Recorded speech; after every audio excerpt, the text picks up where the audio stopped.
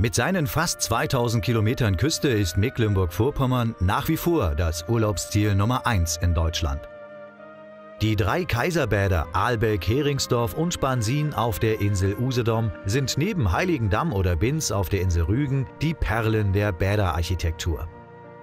Der einzigartige bauliche Stilmix entlang der längsten europäischen Promenade fasziniert jährlich tausende Besucher. Konnten früher nur gekrönte Häupter, Künstler und wohlhabende Bürger die Pracht der drei Seebäder genießen, stehen sie heute allen Gästen aus nah und fern offen.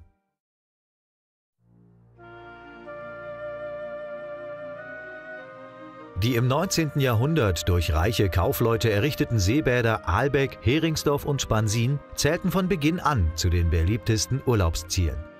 Sowohl das wohlhabende Bürgertum als auch der Adel besuchten regelmäßig die malerischen Ortschaften, um hier das Leben zu genießen.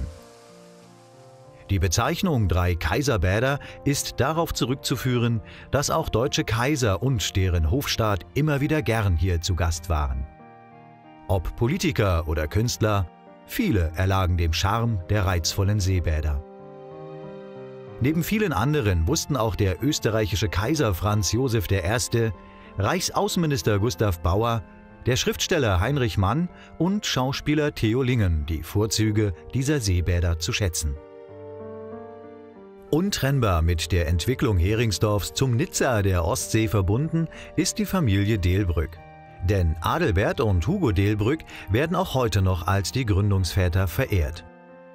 Drei Seebäder bedeutet auch drei Seebrücken an der längsten Promenade Europas. Die älteste davon ist die Seebrücke in Aalbeck. Es ist wahrscheinlich, dass das Baden hier in Mecklenburg-Vorpommern erfunden wurde. Eine gesicherte Erkenntnis hingegen ist die Herkunft dieses beliebten Korbsitzes. Vor Wind und Sonne schützend entstand in Mecklenburg-Vorpommern der erste Strandkorb. Die vorwiegend im 19. Jahrhundert und in der Zeit bis zum Ersten Weltkrieg entstandenen Villen lassen sich weder in bestimmte Stilrichtungen noch in spezifische Baugattungen einordnen. Letztendlich entstand durch diese Bauwerke der Begriff Bäderarchitektur. Die restaurierten Villen und Hotels geben heute den drei Kaiserbädern ihren unverwechselbaren und mondänen Charakter.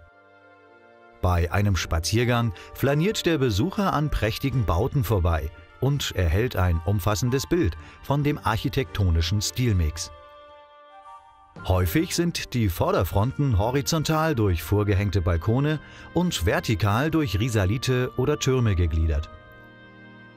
Die Bäderarchitektur schließt sowohl Holzloggien mit filigranen Holzarbeiten als auch beeindruckende Reliefdarstellungen und aufwendig gestaltete Eingangstüren ein. Immer wieder finden sich verschiedenste barocke Putten am Außenbau. Den passenden Rahmen bilden liebevoll gestaltete parkähnliche Anlagen. Ob Brüstungen, Loggien, Türmchen, Veranden oder Säulen. Unzählige architektonische Details warten in den drei Kaiserbädern darauf, entdeckt zu werden.